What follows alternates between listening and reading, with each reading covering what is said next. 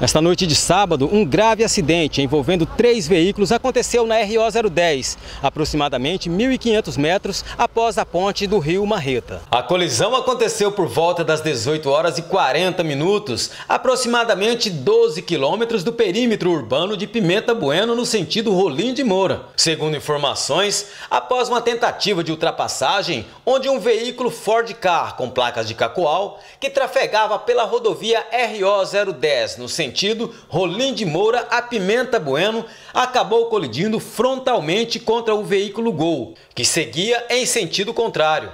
Uma caminhonete que vinha logo atrás do Ford Car ainda tentou desviar, entretanto, não conseguiu parar a tempo e colidiu contra um dos veículos. De acordo com os bombeiros, o veículo Gol, que era ocupado por cinco pessoas, onde dois adultos e um bebê, que com a força da batida, a cadeirinha de assento se desprendeu, a projetando-a para fora do veículo, vindo a óbito no local. Outras três pessoas foram socorridas com urgência ao HPS Ana Neta.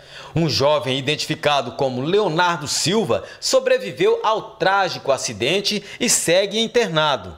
Segundo o sargento Paulino, Natália Vasconcelos foi socorrida ainda com vida ao Hospital Ana Neta e posteriormente foi encaminhada com urgência para a cidade de Cacoal. Porém, a mesma não resistiu aos ferimentos e veio a óbito horas depois. O motorista do Ford Car ficou preso às ferragens e teve vários ferimentos. E após um ótimo trabalho, os profissionais do Corpo de Bombeiros também o encaminharam ao HPS.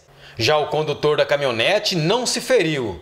A gente chegou e tivemos que desencarcerar parcialmente o carro vermelho porque eles estavam presos, mas não totalmente a gente fez a, a liberação das vítimas, colocamos na UR e está conduzida.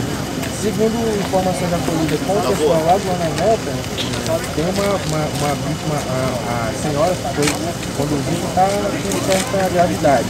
Né? Foi daí em conduzida para Catual. E houve três vítimas fatais, inclusive uma criança, né? não deu para averiguar a idade. E os dois, os dois integrantes adultos ali, que era um casal. Né? Um casal sobreviveu e o outro faleceu. Certo? E aí a gente chegou, usou o desencarcerador para tirar o condutor do veículo branco. E quem estava com vida foi conduzido ao hospital e quem infelizmente veio a óbito, né, a perícia fazendo os trabalhos no local.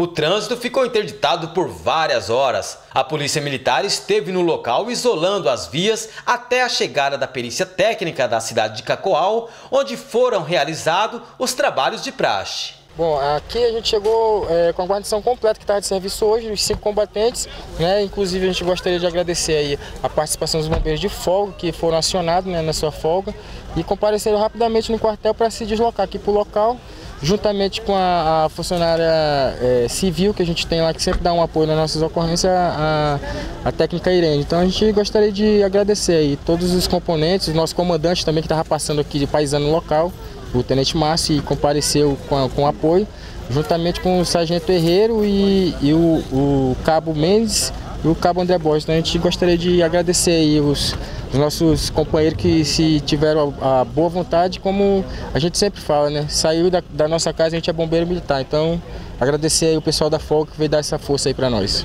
De acordo com as autoridades policiais, as vítimas identificadas nesse grave acidente foram Joriel Nunes Benedito, de 26 anos de idade, Valtiane Nunes Benedito, irmã de Joriel, e também a pequena Laís Vasconcelos, de um ano e nove meses de idade, filha Joriel.